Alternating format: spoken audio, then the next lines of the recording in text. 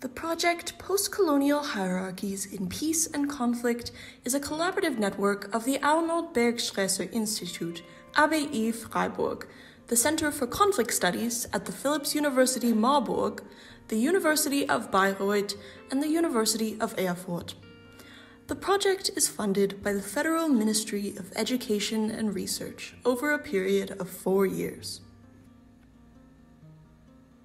Hierarchies, the short name for the project, was launched in June 2022 with a roundtable at the VAD conference Africa Europe Reciprocal Perspectives, hosted by the Africa Center for Transregional Research of the University of Freiburg. The launch of the network was focused on the topic Global Hierarchies and Reciprocity in Academic Knowledge Production, a decolonial approach to peace and conflict studies.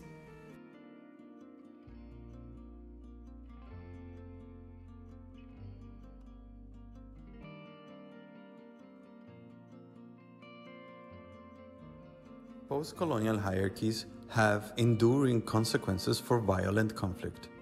But how is the practice of peace and conflict studies itself affected by post-colonial hierarchies? I mean, the thing is about peace and conflict studies, it's, uh, um, as it was said in the panel, it is really a sensitive area. We are talking about people who are uh, very vulnerable um, in the most vulnerable situations you can imagine, especially if they are um, refugees in uh, other countries or they are displaced in, in the same country where they are. And to, so to tackle such kind of you know, research, there is a lot of ethical questions that we need to consider.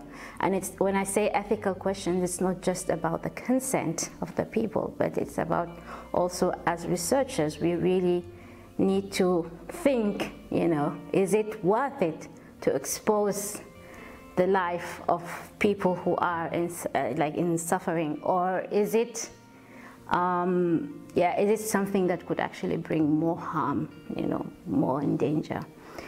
So we need to consider these ethical questions.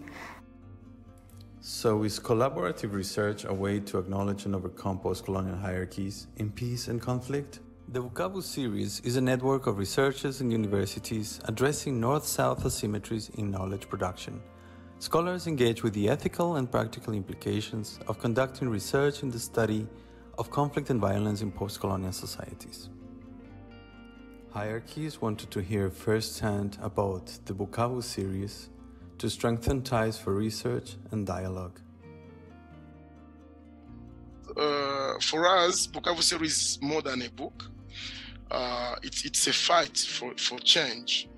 Uh, it's, it's a call for, for more reflexivity, for dialogue, and more humanity in the research collaboration process between Global North and Global South, uh, researchers, between junior and senior researchers, and uh, especially in research collaborations. La recherche collaborative a deux dimensions.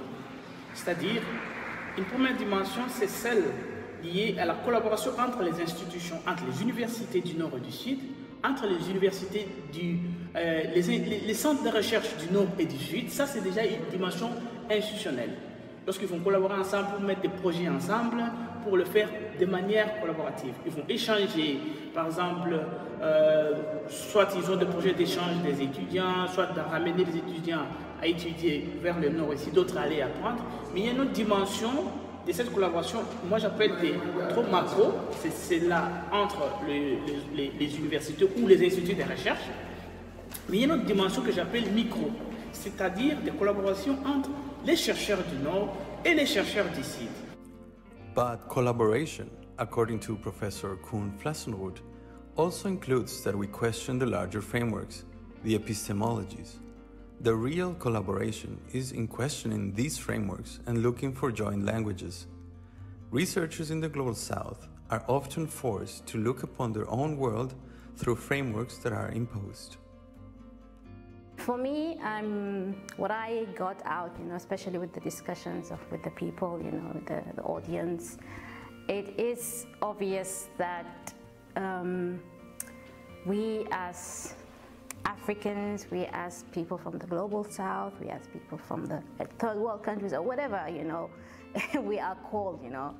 Um, we need to have more um, kind of sort of dialogue with each other because um, I mean we are starting that. There's I mean a lot of people are starting that, talking about that. But we really uh, need to stress more on such kind of dialogues and and in a way that actually give us some more voice and more agents in, in developing all these corporations. Otherwise, um, we'll always be in this vicious circle of, you know, being the recipients and, um, yes, waiting for the mercy of, uh, yeah, the donors in the global north. And, and I think, yeah, the more we have cooperations amongst uh, southern universities, among the southern institutions, that will be um, my, yeah, that will make me very happy.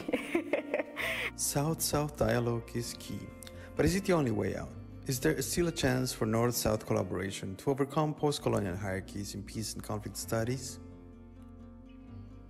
According to Professor Jana Hoenke, collaboration is also about bringing in and engaging with the knowledge that's produced globally in Africa and other regions as much as at Western universities. And to her, that should be a part of a conversation about collaboration, acknowledging what's there, putting it out there, and making it more visible to the members of, of, to the members of the roundtable, um, I really I really appreciate the way uh, this conference is organized and uh, and and and our invitation to give our position on, on research collaboration, on hierarchies in the research production, and yeah, the presence of Koen Vlassenroot, Josaphat Musamba, and other uh, other researchers on the table. I think this is very important because this when we started talking about research decolonization, we thought we were a, a, a, small group somewhere in the world.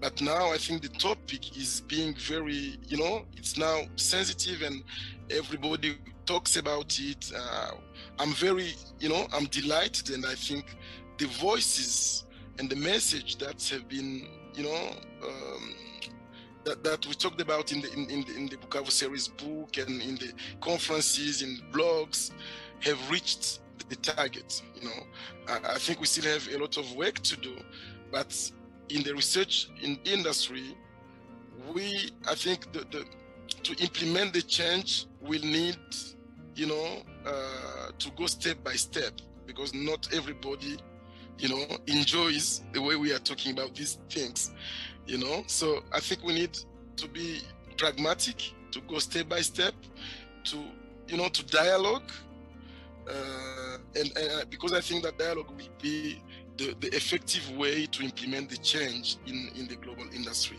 So thank, thanks uh, for, for, for the invitation and uh, for the debates. Uh, I, hope to, to read the final product of, uh, of these discussions after the conference. Thank you very much.